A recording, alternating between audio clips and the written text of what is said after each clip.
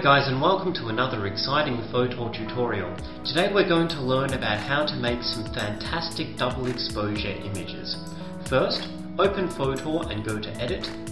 After you open Edit, choose a picture with a large empty background as this will make the double exposure effect more appealing. Once you've opened your picture, you're going to go to Stickers and then you're going to choose your own sticker which can be typically a picture. In this case we're going to use a city backdrop picture. Once this has been brought into your design, you've got a number of editing options you can apply to the overlay. Blending options are an excellent way of maximizing the double exposure design.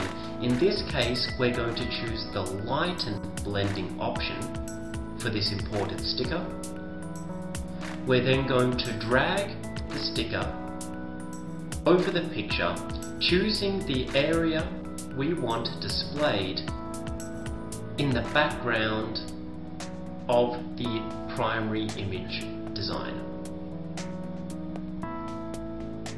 After this has been done, we are going to modify the transparency of the sticker, bringing out the image in more detail, and then we're going to use the basic edits of Fotor to crop the image so as to highlight the double exposure area.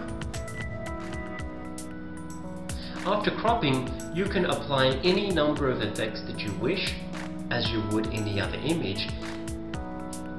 Particularly filters can bring out some very interesting effects. In this case we're going to use the cinematic filter to add a film-like quality. And there you have it guys.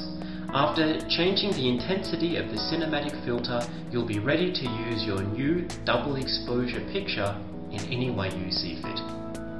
Stay creative guys.